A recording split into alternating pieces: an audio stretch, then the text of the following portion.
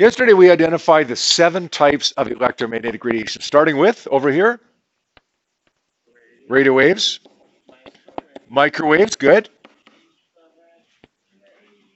Oh, you're going too fast for me. What comes next? Infrared. What comes next? Visible light, which consists of, which consists of, of course, Roy G. Biv, red, orange, yellow, green, blue, indigo, and violet. And of course, when we look at this, we see that infrared is just below red. What comes next? Ultraviolet, which is just above violet. And then, of course, we have X-rays, and we have gamma rays. Good. Yesterday, I told you that you do have to be able to identify any type of EMR from its frequency, from its wavelength, from its energy.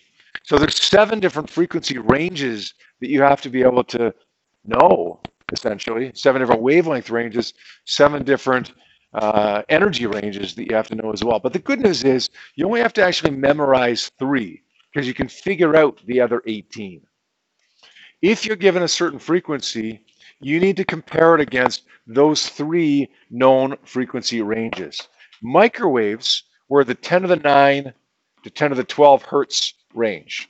So if you have a mic, a, a, a, the type of EMR that's given to you as a frequency of 10 to the 10 hertz, it's going to be microwaves. 10 to the 11, it's going to be microwaves. X-rays, yesterday I think I told you the wrong number for X-rays. I think I said 10 to the 17 to 10 to the 19 yesterday. It's 10 to the 17 to 10 to the 20 hertz. So if you're given a frequency that's 10 to the 18, it's going to be X-rays. Visible light, we got to be more specific with that because it's such a narrow range. It's 4 times 10 to the 15, 14, sorry, to 7.5 times 10 to the 14 hertz. Now, if you get a type of EMR that has a frequency that's not in one of those three ranges, that's okay because we can fill in the blanks. If you get 10 to the 7, it's got to be radio waves because it's not microwaves. If you get 10 to the 13, it's got to be infrared because it's not microwaves and it's not visible light. So if you get something that's outside of these ranges, that's okay. Deal with it. Memorize these three. There's no way around that. But figure out the other ones based on filling in the blanks.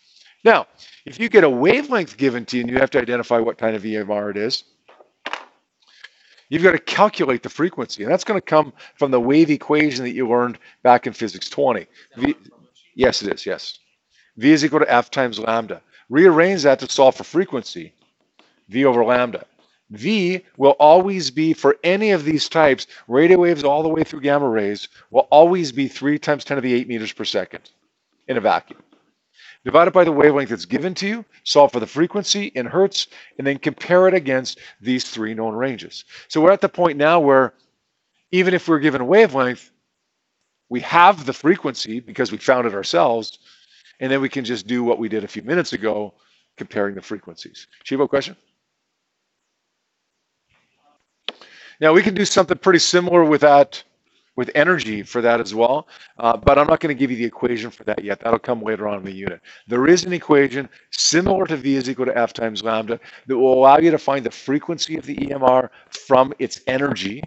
And then you would, given the energy, find the frequency, compare it against the three known frequency ranges, and identify what kind of EMR it is. Is that all right? All right, today we're going to spend a little bit more time talking about the spectrum than we did, than we did yesterday. Today, in addition to the frequencies and wavelengths and energies, we're going to talk about specifically what causes each type of EMR.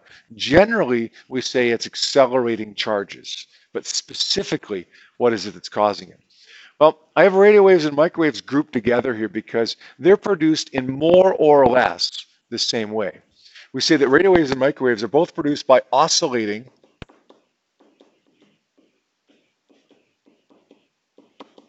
electric charge. What does that mean? Oscillating electric charge.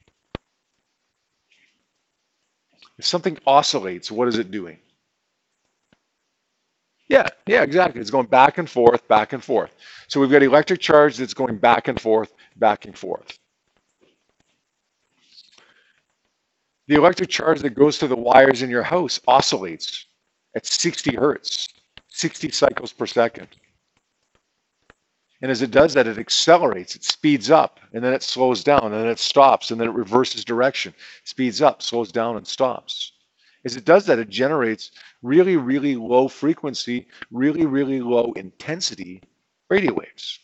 It's nothing you have to worry about, but it would generate low frequency, low intensity radio waves. You ever driving down the road, listening to the radio, listening to a hockey game, or listening to music on the radio? and you drive under a big power line that goes over the highway and your radio cuts out for a few seconds. You ever notice that? Sorry? Is that right? Yeah. Yeah, but could could be, okay, because the hill could be an issue with diffraction, the radio waves diffracting around the hill.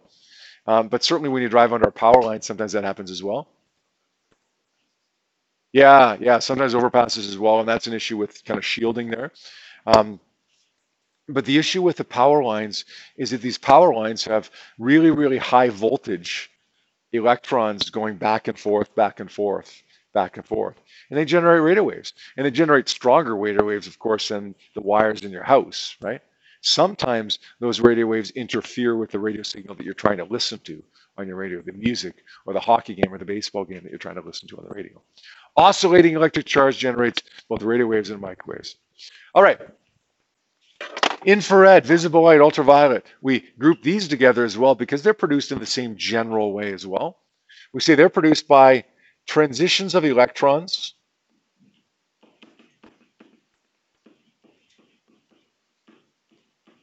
from high levels to low levels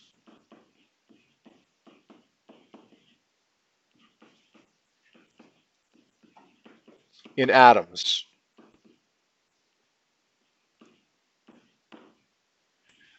If you've taken chemistry, you know that electrons exist on levels and you know that they can make transitions. Sometimes they jump to a higher level, sometimes they fall to a lower level. If there happens to be a vacancy in the first level, then an electron is going to fall down to that first level to fill in that vacancy. It's kind of like if you're young and poor and you go to a hockey game and you pay your 30 bucks to sit up in the Sport Chek zone and you notice two seats down in row four that are empty for the entire first period, then what do you do? You go down and fill in the vacancy, fill in those two seats, right?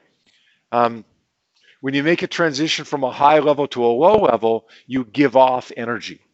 These electrons, as they make the transition from a high electron level to a low electron level, give off energy in the form of either infrared, visible light, or ultraviolet, depending upon the transition. Now, X-rays can also actually be produced that way as well, but it would have to be a really big transition for that to take place. Be like you know, buying a ticket for the very highest seat in the Saddledome, seeing a seat in the first row right by the glass and making that transition from the highest seat down to the lowest seat. That would be analogous to the X-ray being produced. Okay, the biggest, a really massive transition taking place. Usually we say that X-rays are produced by rapidly decelerating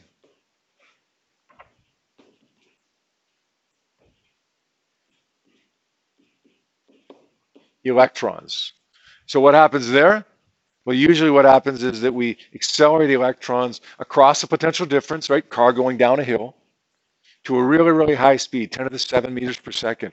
And then we smash them into a metal target and we cause them to stop almost instantly. As they do that, they decelerate very quickly, right? Accelerating charges. They decelerate very quickly. They generate EMR.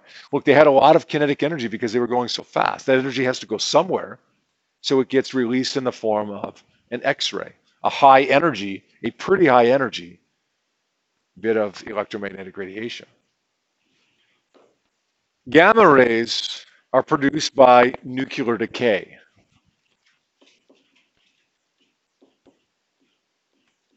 And what do we really mean by that? You've heard of that before, perhaps, but what does it really mean? Nuclear decay can occur in radioactive decay and a reaction called the fission reaction. Nuclear decay occurs when we have matter that is converted to energy. We're not talking about burning a piece of wood and generating energy from that wood, liberating energy from that wood. We're talking about actually changing the matter into energy. When you burn wood, you get a lot of energy produced, right? It heats up, and you see this light, this light given off in the form of fire and whatever, and then then the wood disappears, right? But it doesn't really disappear. You have carbon dioxide produced, you have all kinds of other stuff produced, whatever, right? The mass still stays the same. It's just redistributed. But we're talking about nuclear reaction or nuclear decay. We're talking about matter actually changing into energy, not just becoming some other kind of matter that we can't see, but it's actually changing into energy. And that can happen in a number of ways. We'll talk about that in a lot more detail near the end of the semester. That's how gamma rays are produced. Yep. All right. I want to talk briefly about how this theory of electromagnetic radiation or this explanation of EMR was verified or at least supported. You guys have seen this name before, Hertz, Heinrich Hertz, a German guy who did a lot of work with electromagnetic radiation, including being the first guy to essentially uh, provide evidence to support Maxwell's theory of EMR. Here's what Hertz did. He took an apparatus that had these wires going through it, but a gap in the wire, a break in the wire, and he induced a really large potential difference across that gap. And the reason he did that is because he wanted electrons to accelerate across the gap. The experiment looks something like this. This whole thing over here don't lose any sleep over. Hey, that's not what's important to you. I'm just drawing it because that's the way his, his experiment essentially looked. What's important to you is this this little gap right here. There's a large potential difference induced across this gap, and that's going to cause electrons to jump across the gap. It's kind of like taking a board like this and putting a deck of cards on the board or putting your phone on the board or putting a book on the board and slowly increasing the slope of the board. At some point, what's going to happen? Yeah, it's going to slide, right? That deck of cards or that phone or that book is going to start sliding down. It's going to start accelerating, right? If you induce a big enough hill, then that phone is going to accelerate down the hill.